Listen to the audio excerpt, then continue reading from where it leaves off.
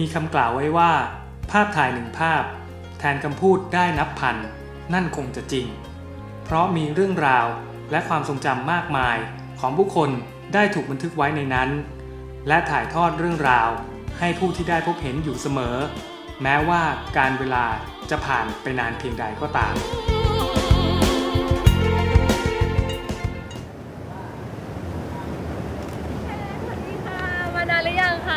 อ้โห นี่มาไงเนี่ย นี่พี่รถไฟฟ้าเลยอะฮะ มารถไฟฟ้าเหรอนี่โอ้โห ดูผ่านไปเป็นหลายขบวนแล้วพี่อะรอหยกอะทำอะไรอยู่เนี่ย แต่งหน้านิดเดียวเองวันนี้แต่งหน้านิดเดียวเนี่ย แต่วันนี้เนี่ยนะ ต้องบอกเลยว่าหยกแต่งหน้ามาเนี่ยรับรองว่าเละ ทำไมอะ ก็วันนี้เราต้องไปทำภารกิจกัน อ๋อ ใช่ มีภารกิจอะไรคะพี่เค เป็นภารกิจที่อาจารย์สงครามมอบหมายมาให้เราสำคัญมาก อะไรอะอยกเราต้องย้อนเวลาหาอดีตกันเลยวันนี้เดี๋ยวไป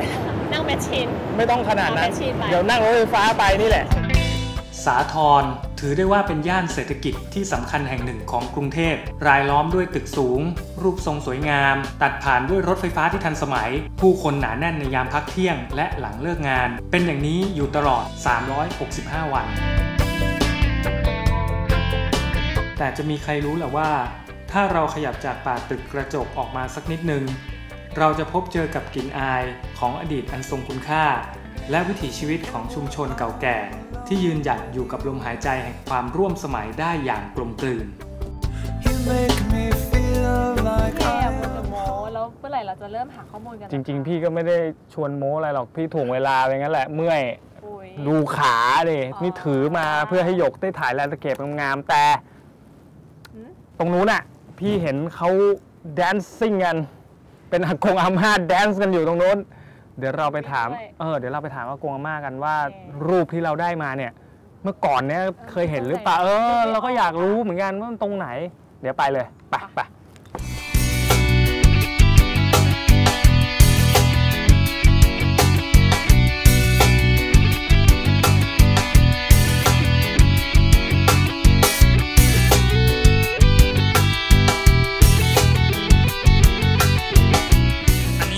ภาพของอาจารย์จิต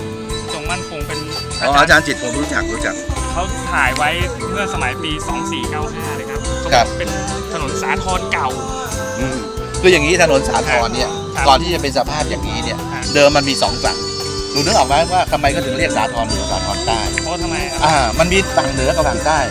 สมมติว่าคลองอยู่กลางใช่ไหมครัฮะบฝั่งด้านด้านเอ่อฝั่งนู้นน่ะอ่าฝั่งนู้นเรียกสาทรเหนือ ฝั่งด้านโรงพยาบาลเซนหลุยเนี่ยคือสาทรใต้อ๋อ ก็เรียกว่าเหนือกับใต้เพราะมันมีคลองอยู่กลางไอคลองที่ผมคลองคือคลองสาทรไอคลองที่ผมเห็นอยู่ตรงคือรถไฟคือฟ้เวลานี้ไม่เห็นคลองแล้วนะเขาไม่เห็นแล้วจะเห็นจะเห็นอยู่บางส่วนเท่านั้นเองใช่ไหมฮะแต่สภาพมันนะเดิมเป็นคลองเลย แล้วก็ทั้งสองฝั่งนะฮะจะมีต้นมะกนีต้นใหญ่ตั้งแต่สมัยรัชกาลที่5น่ะโอ้เสียดายมากที่สุดนะในฮะในภาพนี้เลยใช่ไหมอย่าฮะงนี้ต้นมะเลยกนีนี่ใหญ่มากเลยนะฮะเป็นร้อยเลยร้อยปีอะครับสมัยผมเด็กเนี่ยผมไปเล่นอยู่ตรงคลองสาทรประจำจากที่ พี่ประมวลผลด้วย CPU อันต่ำต้อยของพี่ตอนนี้นะแล้วจากที่เราเดินหาข้อมูลกันหน้ามันแผลบขนาดนี้เนี่ย ใช่ไหมบอกแล้วไปแต่งหน้าทำไมเยอะแยะไม่เหลือเลยแล้วก็จากที่อาจารย์สงครามมอบหมายภารกิจมาแล้วก็ท่านเนี่ยใบ้มาว่าแถวแถวๆเนี้ยน่าจะเป็นแถบๆหน้าโรงพยาบาลเซนต์หลุยส์และทำไมพี่ถึงมั่นใจรู้ป่ะนี่ไงมีป้ายถนนสาทรหมายความว่าตรงเนี้ยเป็นแลนด์มาร์ค ของถนนเก่าถนนสาทรน่าจะในภาพนี้แหละ โอ้โห แล้วดูรถติดด้วย ว่ามีทั้งตึกทั้งรถก็เยอะอย่างเงี้ยเราจะถ่ายกันยังไงคะแสงก็ไม่มีแล้วเออนั่นดิ รถมากด้วยอะโอ้โหแบบนี้เนี่ยพี่ว่างานเข้านั่นเพสิราะพี่ก็ไม่รู้จะทำยังไงเหมือนกัน เอาเป็นว่า รถมากเดี๋ยวเราไป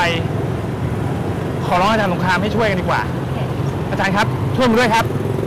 ในสภาพแสงแบบนี้นะครับ ผมอยากจะแนะนำว่าควรใช้ Picture Style แบบ Landscape ดีที่สุดครับ confirm ครับ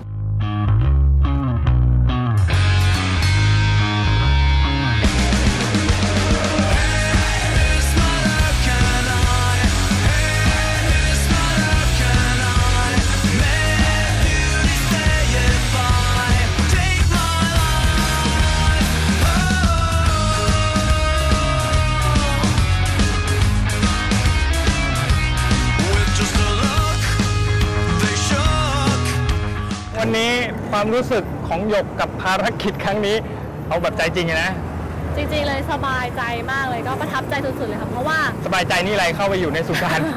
มันหสรืองเปล่าบไหมคะเออใช่ไหมเออใช่แล้วก็เอ่อรูปภาพอ่าภาพที่ที่หยิบมาเมื่อกี้เนี้ยอืค่ะมรูปเดียวอะอ่าทำให้เรารู้เรื่องราวต้องมากมาย แล้วแถมยังจะได้เทคนิคการถ่ายภาพตรงนี้โอ้เยโหอะแยะด้วย ก็ต้องบอกว่าภาพของอาจารย์จิตจงมั่นคงเนี่ยนะ เป็นภาพที่ว่าไม่ใช่ดูว่าสวยอย่างเดียว แต่เป็นภาพแนวแบบว่าประวัติศาสตร์ที่เนี่ยอย่างเราเด็กรุ่นใหม่เนี่ยเราไม่ทันอ่าไม่รู้ใช่ไหมแต่วันเนี้ยเราได้รู้แล้วว่า